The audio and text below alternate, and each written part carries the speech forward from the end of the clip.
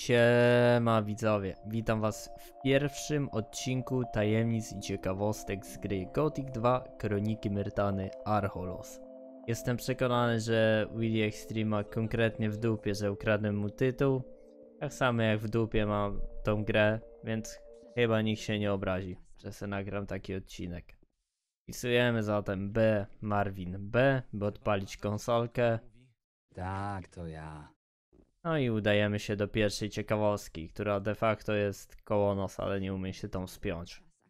Zważywszy, że najgorsze piwo na świecie Harnaś ostatnio doczekało się najlepszej piosenki Harnaś, jednocześnie najlepszego połączenia, które odkryto w tym roku, czyli Harnasia Ice Tea, żeby wyżebrać kilka marnych monet i wyświetleń, pierwsza ciekawostka będzie właśnie o Harnasiu.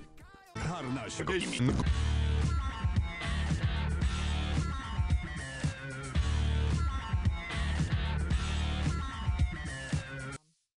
O co dokładnie chodzi z tym harnasiem gaming, nie wiem. Zapewne o to, że wszystko jest teraz gaming.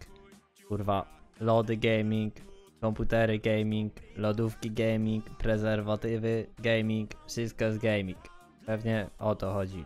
Chociaż nie będę ukrywać, że do tej pory myślałem, że kiedy weźmiemy gówno i dodamy go do jakiegoś super dania, to nadal będzie gówno. Natomiast pierwszy raz w historii świata okazało się, że jeżeli do gówna dolejemy lodoherbatę, to jest to wyśmienity napój. Mocne, dzie mocne 9 dla Arnolda z lodoherbatą brzoskwiniową. Więc chętnie bym spróbował jakiegoś Arnolda na bazie kofeiny. Arnoldowy napój kofeinowy. Co ciekawe jeszcze twórcy nie byli aż tak skąpli i cały pokój Arnoldowy zrobili. Nawet możemy, nawet ma HP pokój Arnolda. Możemy go bić, ale robi uniki, jebany górol. Na drugą ciekawostkę widzowie natknąłem się bardzo przypadkiem, bo szukając oczywiście pokoju Arnoldowego i latając sobie po mapie, znalazłem taki dziwny pokój. Są tu jacyś obywatele, są tu jakieś nagrobki, są tu jakieś miecze. Y, Tych obywateli możemy postrzelić. Te... Oni nie padają w ogóle na całe HP, tylko padają kiedy mają jeszcze trochę HP. Y, No i wtedy dopiero możemy po, pozbierać z nich rzeczy. Co ten pokój tu robi? Nie wiem. Znajduje się tutaj i, i właściwie tyle. Zaraz koło Arnoldowego pokoju.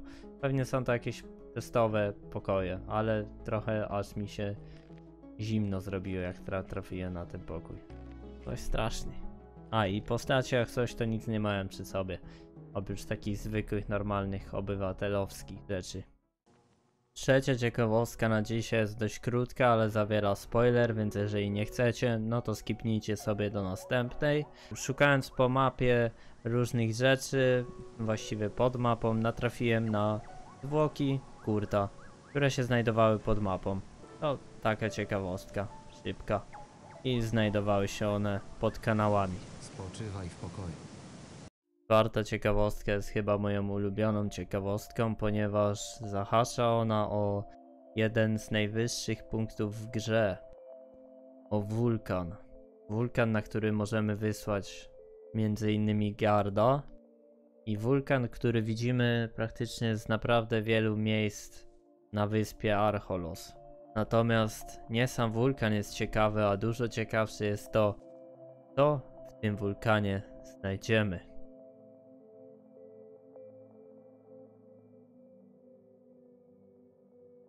A to, co znajdziemy w wulkanie, to statek UFO i absolutnie masę postaci. Postaci, które zabiliśmy, postaci, które jeszcze nie spotkaliśmy. Jest tu cały stak wszystkich postaci, ale to, co interesuje mnie najbardziej, to to, dlaczego one się tutaj tak układają. To coś, ten znak, w który się układają, wydaje się nie być przypadkowy i męczył mnie od samego początku. Szukałem trochę informacji na ten temat, natomiast nic nie znalazłem. Wszystko, wszystko wydaje się być przypadkowe dla innych ludzi, natomiast ja dostrzegam w tym jakiś znak. Próbowałem, próbowałem przez chwilę się zastanowić, czy może to nie są jakieś koordynaty, może to nie są miejsca na mapie, w których mamy się zjawić. Ale też zastanawiałem się nad tym, yy, czy to nie jest po prostu jakieś gwiazdy, czy jak nie patrząc w gwiazdy, jak nie polecimy w stronę takiego układu gwiazd, jaki prezentują te postacie, to może coś się stanie, skoro jest to temat UFO. A więc tak zrobiłem, tylko nie do końca znalazłem taki układ gwiazd, ale postanowiłem podlecieć do góry i zobaczyć, czy może coś się jeszcze stanie. Nie stało się. Próbowałem wejść do wulkanu, również się nic nie stało. Nic tu ciekawego pod ani nad tym wulkanem się nie znajduje. Tym wulkanie znajduje się zwykły statek UFO, którego interakcje nie możemy schodzić. Chodzić. Yy... Przez chwilę myślałem, że te postacie tutaj to są, yy, to są po prostu ufolutki, ale okazało się, że to jednak manekiny są. A co jak manekiny w tej grze to UFO? Nie wiem, to już ta głupia teoria i daleko idzie. Ale ja lubię takie rzeczy i się tym mega jaram. Jak będzie więcej ciekawostek o UFO, to ja w to wchodzę. Na razie mamy coś takiego. Pierwszy statek UFO został odnaleziony w gierce. Piąta ciekawostka zawiera spoiler, aczkolwiek bardzo mały. Jeżeli naprawdę sobie nie chcesz w ogóle tylko ani trochę spoilerować gierki, to spoko. Ale jest to powiązanie z misją, w której zostajemy zmniejszeni. Trafi, trafiamy do powiększonego pokoju.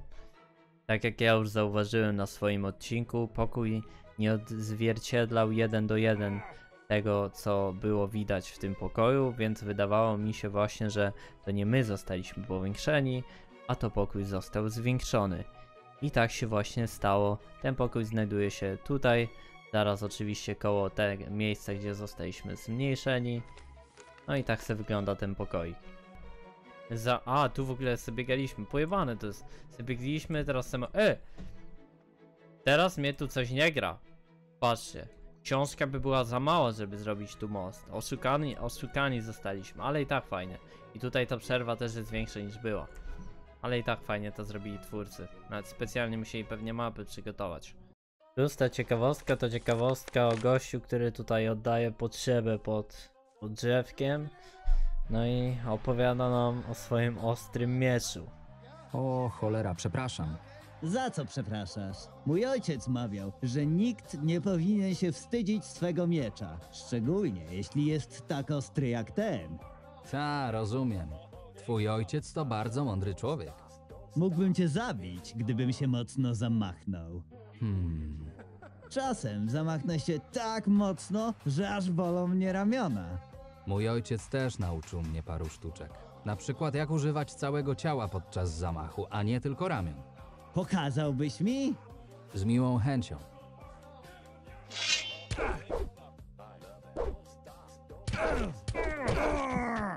A sam dialog jest nawiązaniem do tego filmu. Oh shit, I'm sorry. Sorry for what? Our daddy taught us not to be ashamed of our dicks, especially since they're such good size and all. Yeah, I see that. Your daddy gave you good advice. It gets bigger when I pull on it. Hmm. Sometimes I pull on it so hard, I rip the skin.